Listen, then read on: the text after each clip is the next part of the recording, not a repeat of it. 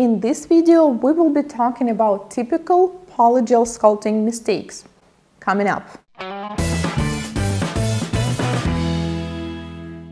Hello, I'm Anastasia. I noticed that you guys really enjoy my mistakes videos. I already have one about gel and acrylic and this time I decided to share the video with polygel mistakes. First one is using too much liquid. As you probably know, together with the polygel, most brands they have the special liquid, which you need to use so the brush will not stick too much.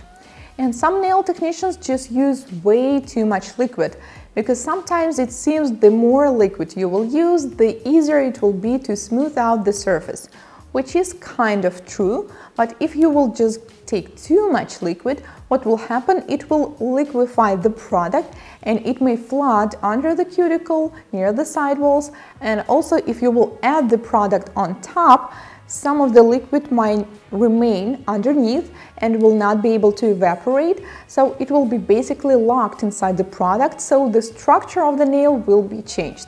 So Use liquid as long as you feel that the brush is sticking, but do not take too much and if you see that the nail is wet, wait until the liquid totally evaporates and cure only after that. Second mistake is using certain types of base coats.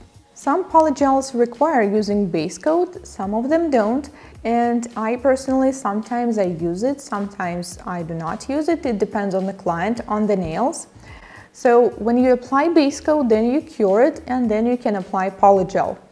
So the thing is that some base coat have too much of the sticky layer, so the surface is so slippery, it's just not comfortable to apply the polygel. If you have a base coat like this, it doesn't mean that it's bad or good. It only means that it is better to remove the sticky layer and to apply the product only after that. Because when the surface is so sticky and slippery, it just might not be comfortable for you to do the good cuticle work. And sometimes what will happen that this layer will be mixed with polygel and the product will slightly slide under the cuticle or under the sidewalls. Next mistake is applying the product too thick near the cuticle or along the sidewalls. Sometimes you just do not notice it as you try to cover uh, the nails, as you smooth out the surface, and then you do not notice that some part of the product already fell on the sides or too close to the cuticle. And you will notice it only after a few weeks as the nail will grow off and you will see that it was not as thin as you thought and also the product started lifting. So I recommend to always check these areas. Near the cuticle, along the sidewalls should be always thin. Mistake number four is applying product too close to the sidewalls. Now this is a very common mistake and it's pretty hard to identify it even by looking at the close-up pictures. Even in reality, sometimes I see nails, they look good, but actually the product is too close to the skin. It may be super thin, but if it touches even just slightly the sidewall, after a few days it will start lifting. So what you need to do when you apply the product, always make sure there is a tiny margin along the cuticle, along the sidewalls between the product and the skin. We cannot apply it on the skin or even let it touch the skin. So always leave this tiny margin. As you will grow as a professional, you will be able to create this margin like hair thin.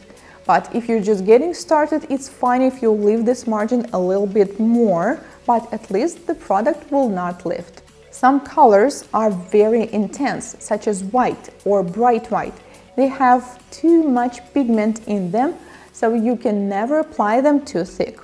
I've seen Nail technicians sometimes take white product and apply a very thick layer just trying to do pink and white or baby boomer for one take.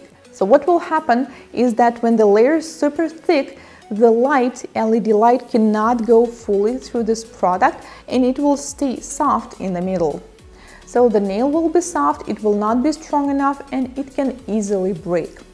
So if you want to do, let's say, long nails with a white free edge, what I would recommend to do is to split it into two or even three steps, or you can also use clear first, build a clear foundation, and then apply white on top.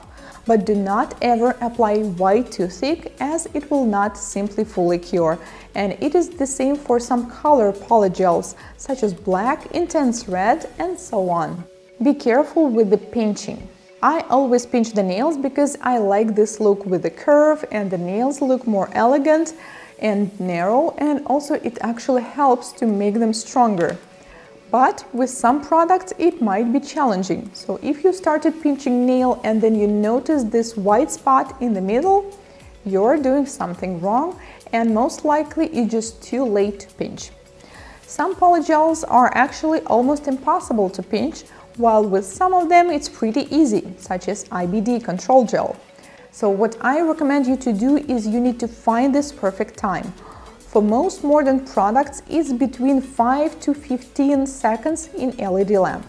So I apply a thin layer of the product on the nail, freeze cure it for 15 seconds, and then you can slightly pinch it and cure for the remaining 1 minute. And then you repeat it on the second layer. Sometimes if you apply the product too thick, it will not be possible to pinch it even after 5 seconds. This is how the products work. So whether you want to divide the process into two steps or find the product that is pretty easy to pinch. This mistake is so common when nail technicians are using UV or LED lamp that is not compatible or simply not powerful enough for this particular product. You may heard of like this lamp is not working with our product and it's true because manufacturers usually create products that are compatible with their lamps. For example, gelish polygel will not fully cure in 18 watt LED lamp. I tried it and it didn't really work. I mean, it looked like it cured, but as you start filing, you will see that it's still soft in the middle. But once I took 36 watt, it was powerful enough. So you need to check whether the brand you're working with is compatible with the lamp and also if you're using UV or hybrid lamp, make sure that you change the bulbs and they're still emitting enough energy. This mistake is pretty common with hard gel and with polygel as well when you apply not enough thickness in the middle. We all want to get natural looking, thin, beautiful, elegant nails and it actually pretty easy to reach but you need to make them thin only on the free edge, not in the middle where we need all the thickness and the strength. So when you apply the product in the center where the apex is, it should be actually pretty thick. When it will be thin and the nails are short, sometimes nothing may happen, but with some clients, I assure you what will happen, they will have these cracks on the sides and then the nail will break. So make sure you have enough thickness of the product in the apex area. Some nail technicians believe that as you apply more product on the free edge, the thicker nail will be, the stronger they will be and more resistible to any breaks, which is not actually true. It was something that nail technicians considered many, many years ago, but what happens if we apply too much product on the free edge? It will be just too heavy and as the nail will grow off, it will push the natural nail plate and may easily damage it. And also these nails are pretty easy to break. So if you want to have really strong nails, you need to apply more product on the apex area, you need to create a curve and the proper structure. But on the free edge, nails should not be too thick. The last but not least is using some other liquid instead of the special polygel liquid. I noticed that some nail technicians are really looking on how they can save uh, some money, so they're using, let's say, polish remover instead of the special liquid. And sometimes they contain such ingredients as oils, which are the opposite of adhesion. So oils are designed to make our skin soft, but they will not help with the adhesion of the product and the natural nail plate. So by using this uh, product, you will do the opposite and the nails might not last. So make sure you're using the special liquid or at least alcohol. These were the most common mistakes that nail technicians do when working with polygel. Now let me know which of these mistakes have you ever made or maybe still doing. I skipped some of those such as the last one and the one with the base coat because I read the instructions carefully but I definitely did this mistake with using too much liquid and I definitely tried to cure white when applied it very thick. I was just really wondering how it works which is fine because when we're learning, we're experimenting. But keep in mind that if you will know what your mistake is, you will not repeat it again and again, and every time your nails will be so much better. Thank you so much for watching. If this is your first time here on my channel, consider subscribing as I post new videos just like this one every week. See you in my next one. Bye!